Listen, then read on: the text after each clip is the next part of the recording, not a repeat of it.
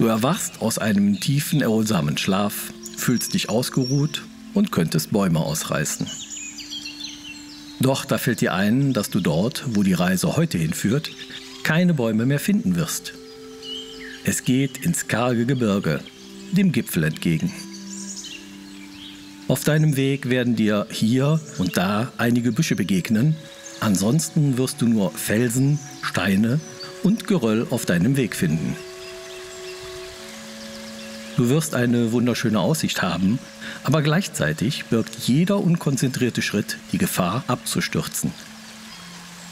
Dir wird ein wenig mulmig zumute, aber gleichzeitig fühlst du diesen unumstößlichen Willen und spürst die Kraft und Energie, die dich durchströmt. Du stehst auf, reckst und streckst dich und bemerkst, dass du nicht mehr den massigen Körper eines Bären hast. Du hast die kraftvolle Gestalt eines Steinbocks angenommen. Nachdem du dich noch einmal in der Höhle umgeschaut hast, verlässt du die Höhle und trittst ins Freie, wo du bereits von dem Bären und deinem heutigen Begleiter, einem stattlichen Steinbock, erwartet wirst. Du blinzelst im hellen Sonnenschein und grüßt beide mit einem freundlichen, aber bestimmten Kopfnicken. Dein Kraftbegleiter begrüßt dich mit einem genauso bestimmten Kopfnicken und sagt zum Bären, nun, es scheint, der Lichtarbeiter hat auf seinem Weg schon einiges gelernt. Und deine Lektionen über Bodenständigkeit, Ruhe und Gelassenheit haben auch gefruchtet. Selbstvertrauen scheint er auch zu haben. Somit ist schon einmal das Fundament für unseren Aufstieg gelegt. Wenn er nun noch die nötige Umsicht beweist, kann es eine schöne Tour werden. Zu dir gewandt, meint er dann. Lasst uns mit dem Aufstieg beginnen. Folge mir und achte auf meine und deine Schritte. Wenn du meinen Schritten aufmerksam folgst, wird dir nichts geschehen. Ich bin bei dir. Und wenn ich zu schnell sein sollte oder du Fragen hast, sprich mich sofort an. Ich werde dir dann meine Schritte und auf was du achten musst erklären. Mit der Zeit wirst du mir ohne Schwierigkeiten und ruhigem Gewissen folgen. Er nickt den Bären noch einmal freundlich zum Abschied zu und wendet sich ab, um Richtung Felswand zu gehen. Auch du verneigst dich zum Abschied noch einmal vor dem Bären und folgst dem Steinbock neugierig. Der Aufstieg beginnt und anfänglich ist es nur noch ein Trampelpfad, dem ihr folgt. Dieser ist noch ziemlich breit, dass ihr gemütlich nebeneinander den Berg hinaufschreiten könnt. Im Laufe der Zeit wird der Weg jedoch schmaler und die Landschaft karg und unwirklich. Du folgst dem Steinbock, der gemächlich voranschreitet und den Weg aufmerksam beäugt, bevor er seine Hufe aufsetzt und das Gestein belastet. Du beobachtest ihn aufmerksam und nach kurzer Zeit erkennst du auch die Gefahren, die vom lockeren Geröll oder instabilen Felsen ausgehen. Ab und an befragst du den Steinbock auch nochmal, warum er welchen Schritt gemacht hat oder er einen scheinbar leichteren Weg nicht einschlägt. Er antwortet dir immer ruhig und erklärt dir freundlich seine Beweggründe. Plötzlich wendet er sich zu dir und fragt dich, ob du einmal die Führung übernehmen möchtest. Du überlegst kurz, ob du diese Herausforderung annehmen und die Verantwortung übernehmen möchtest.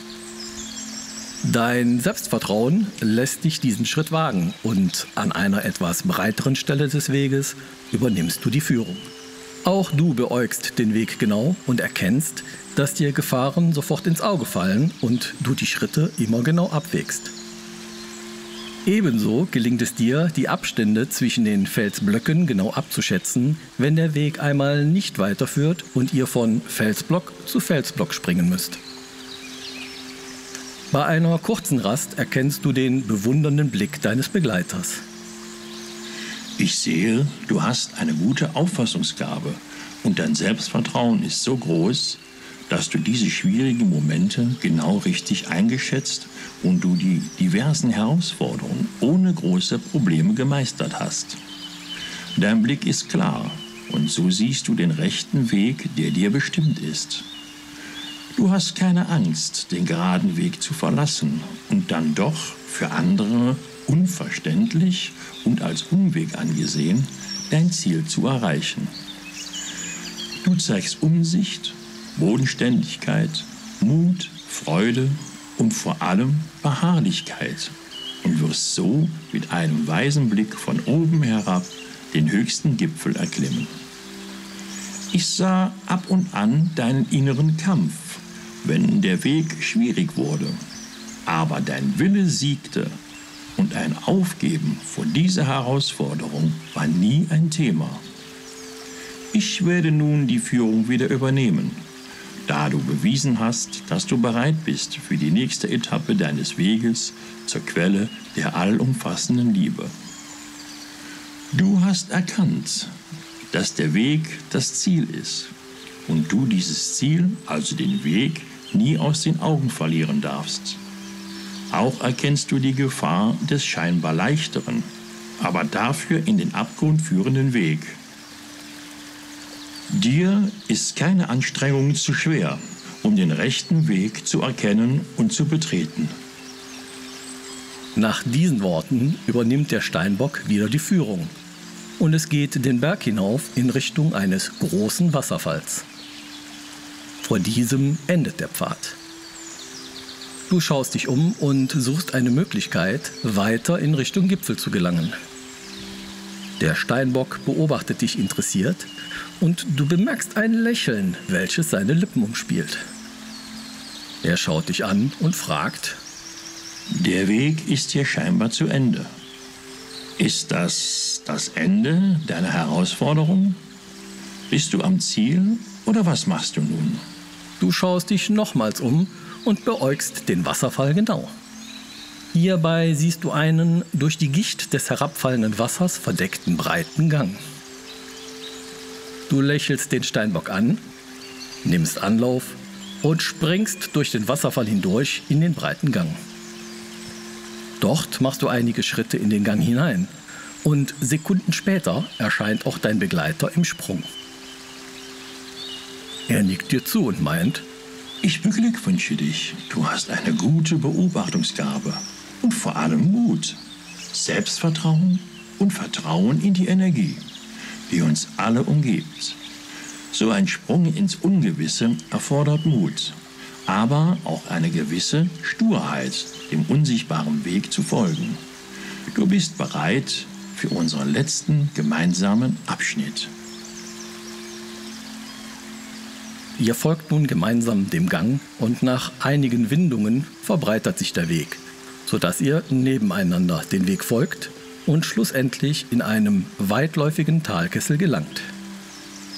Ihr müsst euch zuerst an das helle Licht der hell scheinenden Sonne gewöhnen. Danach siehst du dich in diesem Kessel um. Du bist überwältigt von der Schönheit der Natur, die dich umgibt. In dem lichtdurchfluteten Talkessel siehst du grüne Wiesen, Bäume, Büsche und wunderschöne Blumen. Auch siehst du viele Tiere, die hier friedlich gemeinsam leben. Durch den Kessel fließt auch ein schmaler Bach, der als Tränke für die Tiere dient und das Tal bewässert. An diesem Bach erkennst du ein Lagerfeuer, an dem eine ältere Frau mit indianischer Tracht sitzt. Die Haare der Frau sind grau und einige lilafarbene Strähnen durchziehen das Haar.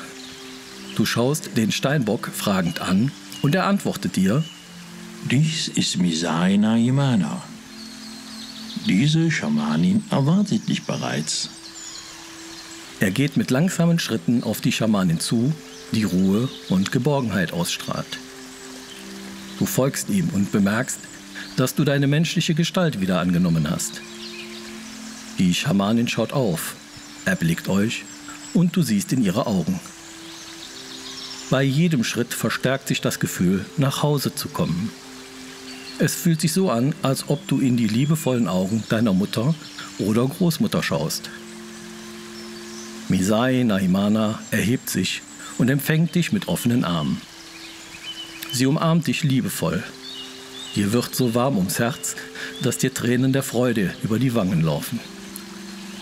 Auch die Schamanin hat Freudentränen in ihren Augen. Nach der Umarmung schaut sie zum Steinbock und spricht mit leiser, melodiöser Stimme. Ich danke dir, Meister Spitzhorn, dass du diesen Lichtarbeiter zu mir gebracht hast. Da ihr beide vor mir steht, weiß ich, dass er alle Stationen seines Weges gemeistert hat. Er hat eine große Entwicklung durchgemacht und sein Wesen und seine Einstellung zu allem, was ihn umgibt, hat sich verändert. Ich bin stolz, dass er die Herausforderung der Quelle der allumfassenden Liebe angenommen und gegen alle Widrigkeiten gemeistert hat. Folgt mir zum Lagerfeuer und ruht euch ein wenig aus. Gemeinsam geht ihr zum Lagerfeuer und setzt euch an die wärmenden Flammen. Du schaust dich nochmal um und bewunderst die Schönheit, die euch umgibt. Du fühlst die Liebesenergie, die allem innewohnt und bemerkst auch, mit welchem Respekt die hier lebenden Tiere miteinander umgehen. Es fühlt sich alles so heimelig und wohl an. Ihr sitzt still beieinander und genießt den Moment. Kurze Zeit später erhebt sich der Steinbock. Nach einer herzlichen Verabschiedung schreitet er stolz in Richtung Felsengang und verschwindet zwischen den Felsen. Du fühlst dich sehr wohl, kannst aber die Anstrengung des Weges spüren. Die Schamanin spricht zu dir. Lege dich ans Feuer und mache ein Nickerchen. Es wird dich stärken. Sie macht eine einladende Geste zu einem Lager aus bunten Decken.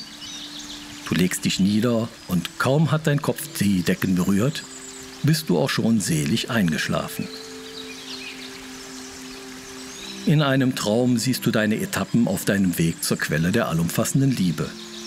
Du erinnerst dich an die verschiedenen Krafttiere, die dich begleitet haben und auch an den Engel und an die Bewohner aus Atlantis.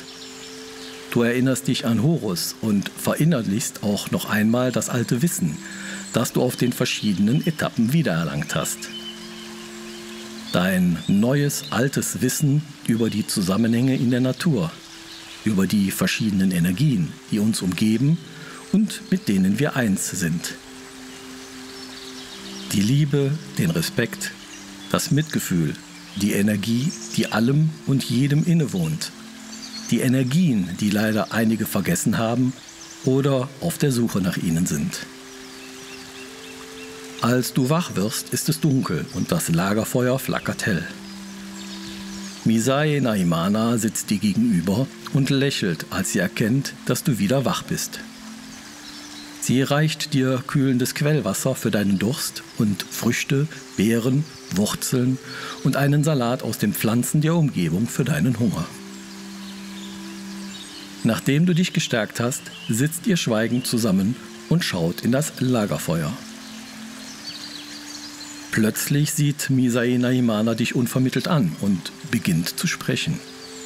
Geliebtes Kind der Quelle, Du hast einen langen Weg bis hierhin hinter dich gebracht. Du hast Unwegsamkeiten und Gefahren gemeistert. Teilweise bist du über dich hinausgewachsen und hast Dinge getan, die du nicht für möglich gehalten hättest. Du hast eine große Persönlichkeitsentwicklung hinter dich gebracht und bist aus eigenem Willen dem Weg zur Quelle der allumfassenden Liebe bis hier gefolgt. Du hättest einfachere, leichtere Wege beschreiten können, hast dich jedoch nicht ablenken und vom Weg abbringen lassen. Das erfordert Mut und Beharrlichkeit. Du hast beides bewiesen. Nun ist dein Weg fast beendet und du wirst die Quelle bald erreichen. Was geschieht dann? Was hast du dann vor? Wohin führt dich dein neuer Weg? Hast du dir darüber auch schon mal Gedanken gemacht? Du schaust in das Feuer und gehst in dich. Du schließt die Augen, fühlst in dich hinein und suchst nach den Antworten zu Misais Fragen. Als du die Augen wieder öffnest, siehst du in die erwartungsvollen Augen der Schamanin. Du antwortest ihr. Ich weiß, dass ich durch das Erreichen der Quelle meinen Weg nicht beenden werde.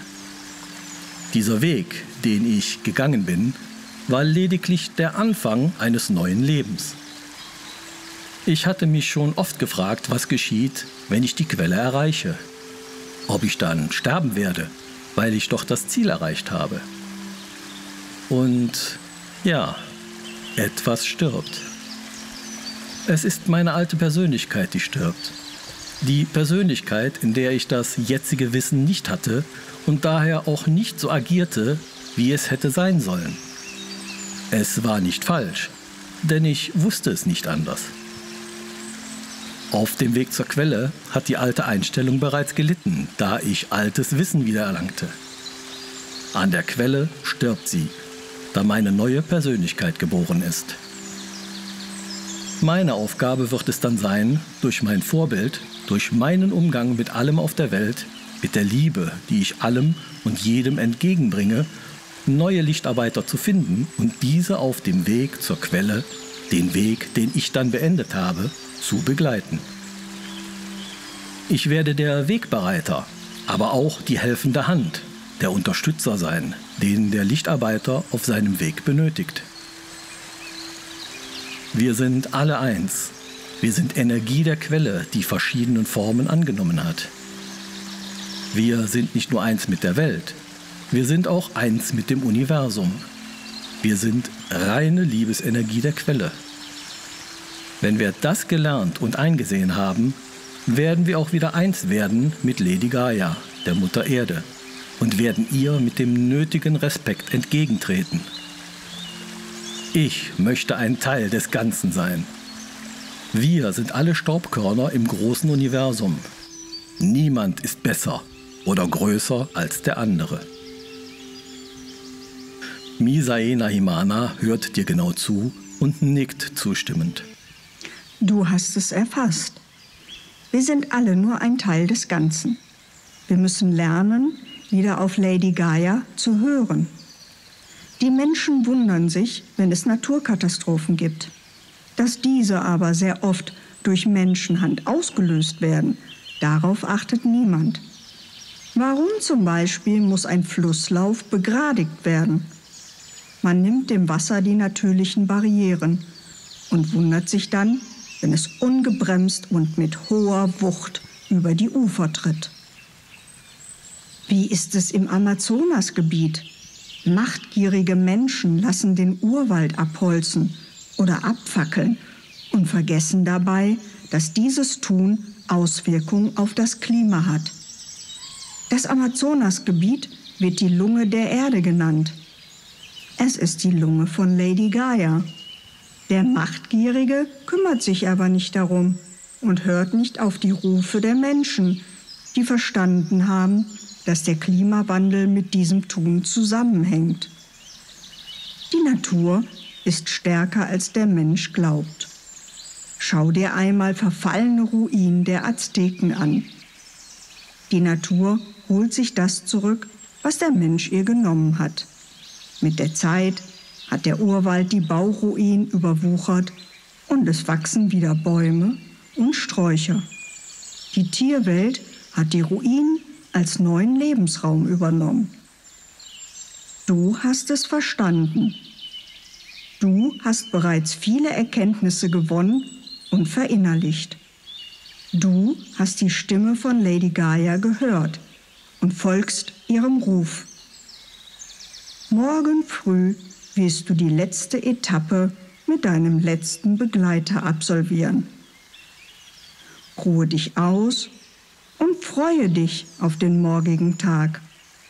Ich werde noch etwas Sandelholz, Salbei und heiliges Holz ins Feuer legen. Wenn du morgen erwachst, folge deinem Begleiter.